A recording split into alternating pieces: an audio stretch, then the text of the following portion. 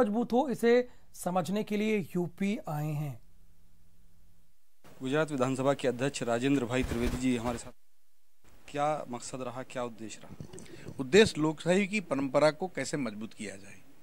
और लोकशाही की परंपरा अगर मज़बूत करती है तो विधानसभा सुचारू रूप से चले उसके क्या नियम है यहाँ पर? हमारे यहाँ जो नियम है उसका आदान प्रदान हो और सभी पार्टी के विधायक को साथ के लेके साथ में लेके चलना ये एक नया आ, हमने शुरुआत की है। कौन सी ऐसी चीज़ें रहीं जो यहाँ पर आपको लगा कि यहाँ पर बेहतर हैं गुजरात से?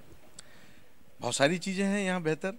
सबसे पहले तो इतना एंशंट ये बिल्डिंग जो है विधानसभा गृह है जो वो अपने आप में एक बहुत ही अच्छा है क्योंकि ऐसा बन नहीं सकता।